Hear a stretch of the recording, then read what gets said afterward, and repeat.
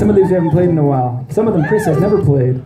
This is one of them. Here Chris Carley on the drums, everybody.